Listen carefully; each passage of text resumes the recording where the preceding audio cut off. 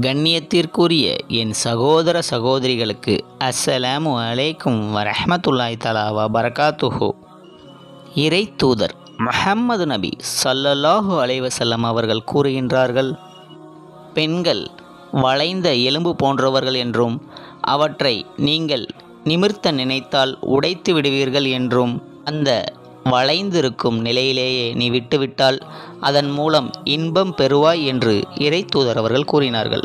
பிறகு இறைத்தூதர் அவர்கள் கூறினார்கள் இறை நம்பிக்கை உள்ள ஒரு ஆண் இறை நம்பிக்கை உள்ள தனது மனைவியை வெறுத்துவிட வேண்டாம் என்று கூறினார்கள்.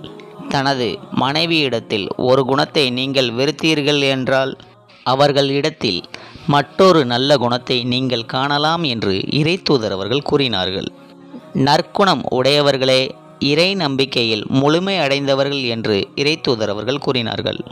உங்களில் சிறந்தவர் தனது மனைவியிடத்தில் நல்ல முறையில் நடந்து கொள்பவர்களே என்று இறைத்தூதர் அவர்கள் கூறினார்கள். பெண்களை நல்ல முறையில் நடத்துங்கள். அவர்கள் உங்களுக்கு அடைக்கலமாக உள்ளவர்கள் என்று இறைத்தூதர் அவர்கள் கூறினார்கள். அதை தவிர வேற எந்த உரிமையும் அவர்களிடத்தில் உங்களுக்கு இல்லை என்று கூறினார்கள். ஒரு நபித்தோழர் நபி அவர்களிடம் வந்து எங்கள் மனைவியருக்கு நாங்கள் செய்யக்கூடிய கடமைகள் யாவை? என்று கேட்டார்கள்.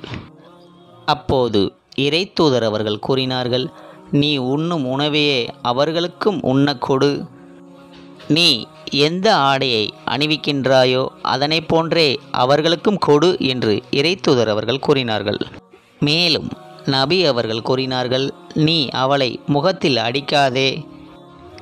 வீட்டில் இல்லாமல் வெளியில் பொது இடங்களில் வைத்து அவரை கண்டிக்காதே என்று இறைத்தூதர் அவர்கள் கூறினார்கள். இவ்வாறாக பெண்களின் கண்ணியத்தை பற்றி இஸ்லாம் கூறுகிறது.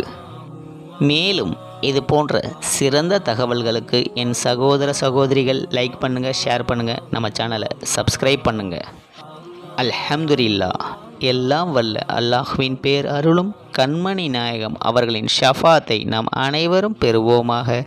அஸ்ஸலாமு அலைக்கும் வரஹ்மத்துல்லாஹி தலா வபரகாத்துஹூ.